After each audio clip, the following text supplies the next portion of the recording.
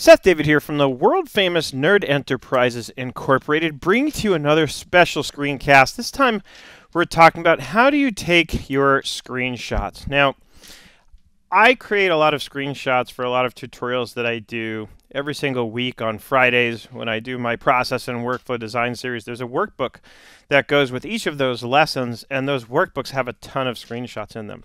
Now, I can get on my mobile device here and I can quickly grab a screenshot of this lovely post on Twitter and I can just send this off and add it into Slack or share it wherever wherever I need to share it with people so that they can see whatever it is that I'm trying to show them, right? Now, here's the thing. There's what most people do right? In the accounting world, I refer to what most people do as, you know, like bookkeeping, and then there's bulletproof bookkeeping. So, what I want to talk about here is what I would refer to as the bulletproof way of handling taking screenshots, which basically means I go the extra mile. I take the extra steps. I don't just take a screenshot and fire it off into Slack or wherever. I actually take a little bit of time and put in just a little bit of effort, like just an ounce, and do things to that screenshot to make it really clear to people what I'm trying to show them, what I want them to see.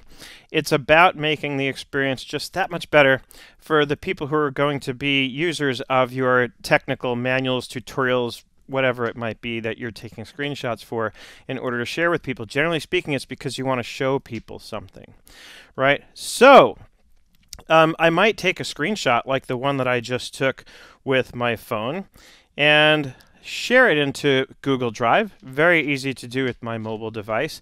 And then I can do a couple things with it really quickly before I post it in Slack. Now, does it take a little longer to do that? Does it require some extra effort? Like I said, yes, it most definitely does.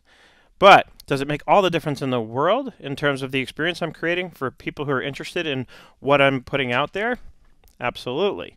So my course coming up here on Nerd's Content Creation Toolbox is going to teach you exactly what I'm talking about. I'll give you a quick example.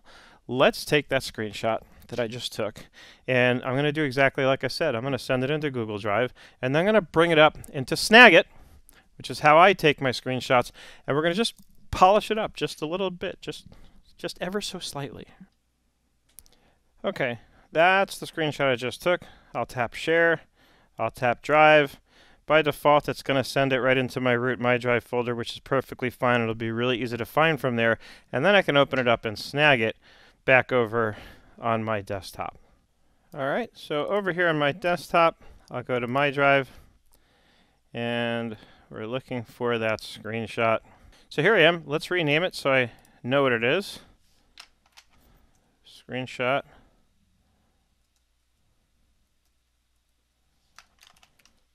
Twitter post. Okay, and then I'm going to right click this and we're going to open with and I'm going to choose the Snagit editor. Okay, let's bring that down onto my screen here that I'm sharing with you. Okay, a couple of quick little things that I do. And again, it's just those extra little things that make the difference. You want to give it a little shine. Somebody asked me about this recently. We go to Effects, and I happen to like this one. Um, I've also used uh, this one quite a bit that gives it kind of the rough edges. Right? So you just sort of choose whichever one you like best. Okay, and then of course I can do a little highlight. Right, so if I want somebody focused on the fact that this is a post from Intuit Accountants, a little highlight, the right effect,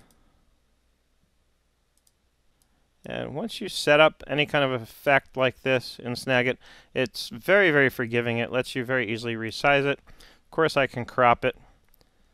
Right? There's a whole lot I can do. And in the first lesson of this course, I'm going to be reviewing everything uh, that you need to know about how to set up your screenshots and make them shine, polish them up, make them look gorgeous using Snagit.